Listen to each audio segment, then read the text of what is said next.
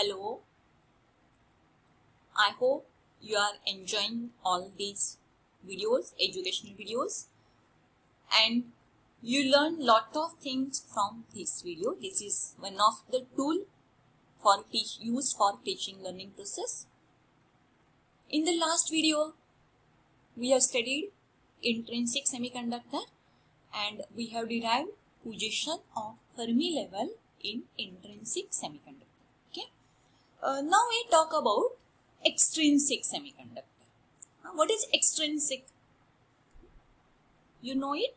Uh, if impurity is added to semiconductor, it is called extrinsic semiconductor. Now we add some external impurity to increase the conductivity, it is called extrinsic. Now based on impurity added, we know there are two types. One is N-type and other is P-type. So first we discuss about N-type semiconductor. See this diagram? See here we add phosphorus. So this silicon atom is replaced by phosphorus atom. Now we know phosphorus is pentavalent. So it has 5 valence electrons. Now see in the diagram, out of the 5, see these 4 electrons, 1, 2, 3 and 4.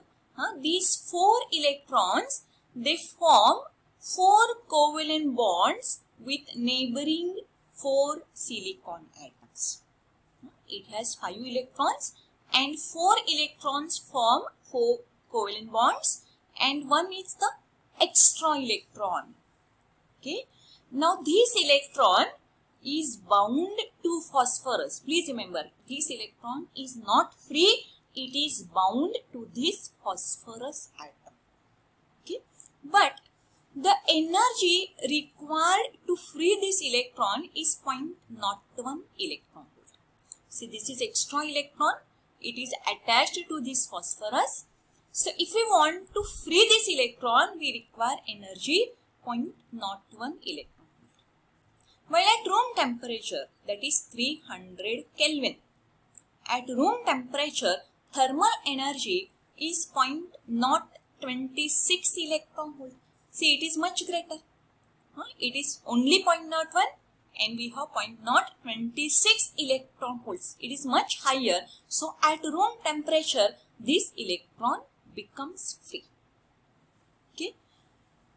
Now, when any atom lose the electron, we know it is called as ionized. Now, this phosphorus, it lose the electron or it donates the electron. So, what we call it? Correct? We call it donor. Donor impurity. It donates the electron. And when it donates the electron, it becomes ionized. And when it donates the electron, electron C, we call it as a free electron. And we know the electron in conduction band is called a free electron. Okay. Try to understand the situation. Here we get free electron in conduction band. But see, there is no hole in valence band. Means we get electron in conduction band without producing hole in valence band. Got it? This phosphorus has 5 electrons. 4 form covalent bond with neighboring silicon atoms. One is the extra electron. Energy required to free that electron or can we say energy required to ionize the phosphorus? Correct because when phosphorus lose the electron, it is called ionized. So energy required to ionize the phosphorus atom is 0.01 and we have the thermal energy 0.026. So it is the easy. So electron becomes free and we get electron in conduction band without producing hole in valence band. This is important here and this phosphorus we call as donor impurity. So energy level of phosphorus we call donor level that we will discuss in the next video. Now this is about N-type. Now discuss about P-type. So what type of impurity we add you first tell me? Yes, correct. It is trivalent impurity like boron. So it has three electrons. So these three electrons, they form three covalent bonds with the neighboring germanium atoms or silicon atoms and see this is incomplete bond. Here we require electron but it is not available so it is incomplete. So what does it do? It takes the electron from this bond and try to complete this bond. So when it takes the electron from this bond, so this bond becomes incomplete or this bond is broken. And we know when bond is broken, it is called hole. So what does it mean? We get hole in valence band without exciting the electron to conduction band. Do you get my point? Hmm? So when the electron is free, we call it conduction band.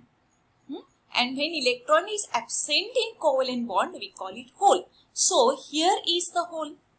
So it tries to fill this hole by accepting or by moving this electron. This electron moves from this to this position. So here we get a hole. But we get a hole but you see here there is no free electron means we get hole in valence band without producing electron in conduction band. So this is p-type semiconductor and what we call this? It is acceptor impurity. Again we see it accept the electron. So does it mean it is ionized? Okay. Now see when one boron atom is ionized we get one hole band. Okay. Similarly, in this case, similarly, in this case, when one phosphorus atom is ionized, one phosphorus donates one electron. So, when one phosphorus is ionized, we get one electron in conduction band. Again, that is without producing hole in valence band.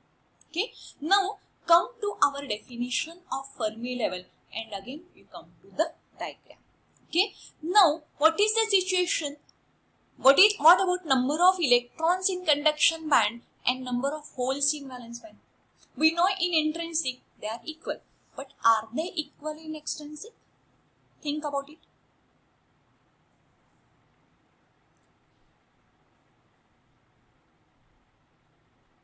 I hope you have written correct. Hmm? They are not equal. So what is the condition?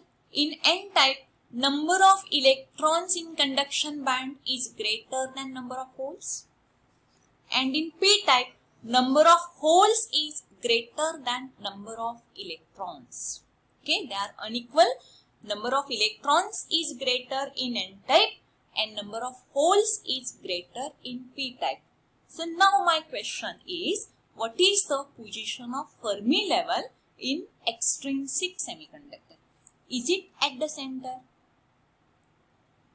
if it is not at the center, what would be the position of Fermi level in extrinsic semiconductor? Okay, I will repeat my question. If the Fermi level is not at the center, then what would be the position in extrinsic semiconductor? Okay, think over this question and write your answer in discussion forum and I will give the answer in the next video. Okay. Thank you.